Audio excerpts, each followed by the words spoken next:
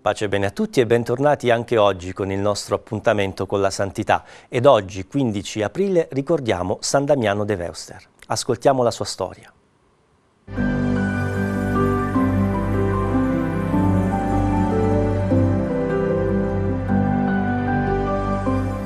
Joseph de Vester, settimo degli otto figli dei coniugi fiamminghi de Vester, nasce nel Belgio nel 1840.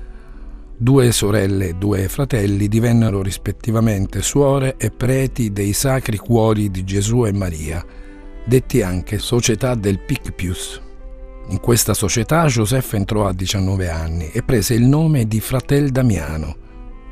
Dopo alcuni anni di preparazione, venne inviato missionario nelle Hawaii, dove gli venne affidato un esteso territorio con soli 2000 abitanti. Damiano raggiunse le isole dopo 138 giorni di navigazione. Sulle isole completò gli studi e divenne sacerdote nel 1864. Istruì la gente nella fede ed insegnò ad allevare montoni, maiali e a coltivare la terra condivideva il loro povero cibo e dormiva come loro su un pagliericcio. Nel 1873 il suo vescovo cercò preti volontari per l'isola Lazzaretto di Molokai, dove il governo confinava ai malati di lebbra.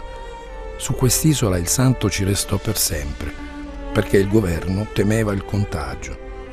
Iniziò a fumare la pipa per nascondere l'odore insopportabile della carne in disfacimento che a volte lo faceva svenire in chiesa.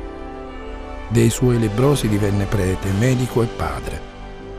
Curò le anime, lavò le piaghe, distribuì medicine, riportò dignità tra i malati. Nel 1885 venne contagiato anche lui. Pochi mesi prima della sua morte arrivò il padre belga Conrardi per confessarlo. Sono, Sono tranquillo, tranquillo e rassegnato e anche più felice in questo mio mondo.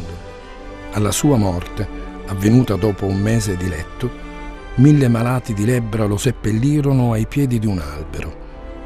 Il suo corpo viene riportato in Belgio, a Lovanio, nel 1936.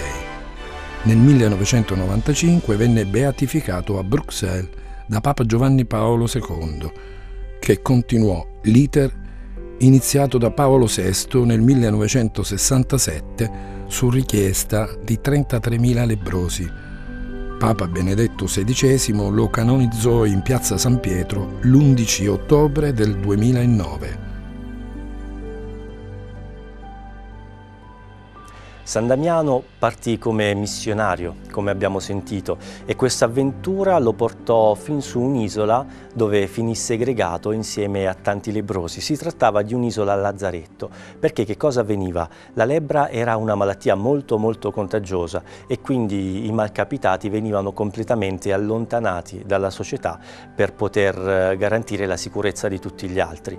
In particolare ricordiamo anche quanto sia stato importante per San Francesco proprio entrare in contatto con questi lebrosi che in quel periodo ad Assisi vivevano in un luogo lontano dalla città, nella campagna e venivano allontanati e avevano proprio l'ordine di non entrare in contatto con nessuno. San Francesco ha proprio il coraggio di abbracciare uno di questi lebrosi al loro servizio si dedicherà per molto molto tempo, ce lo racconta lui stesso, che ciò che gli sembrava amaro da quel momento dal Signore gli fu tramutato in dolcezza. Questo ce lo dice nel suo testamento.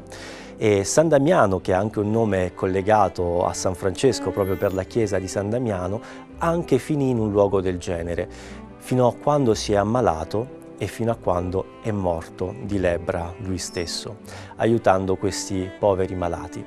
Ora la lebbra non esiste più nostre, perlomeno nei nostri ambienti, quindi siamo al sicuro, ma cos'è la lebbra se non questa malattia che sfigura il volto dell'uomo, lo rende brutto, lo rende schifoso, snaturato proprio. Quante lebbre però ci sono e che noi imponiamo agli altri. La nostra società oggi vuole definirsi inclusiva, ma è inclusiva fino a che punto? perché forse noi abbiamo ora tante norme che garantiscono che tutti quanti possano sentirsi a proprio agio in determinati contesti, conosciamo le battaglie per garantire che spariscano tutte le differenze. Però mi chiedo, siamo capaci per questo di metterci a fianco di tutti, soprattutto dei più discriminati, e anche rinunciare addirittura alla nostra vita, come hanno fatto i missionari, ad arrivare a questo abbraccio? non è che la nostra inclusività si ferma solamente a quattro norme, a parole che non dobbiamo dire, per poi in realtà rimanere con una grande distanza nei nostri cuori. Chiediamo l'intercessione sia a San Damiano che a San Francesco proprio di fare questo, di abbattere le distanze, proprio per arrivare al fianco a fianco con eh, gli ultimi, con i più emarginati, non solo a livello formale, a livello delle parole, a livello mm, diciamo superficiale, ma proprio ad andare nel più profondo. L'abbraccio fa avvicinare i due cuori ed è questo che noi chiediamo oggi a San Damiano. San Damiano, prega per noi.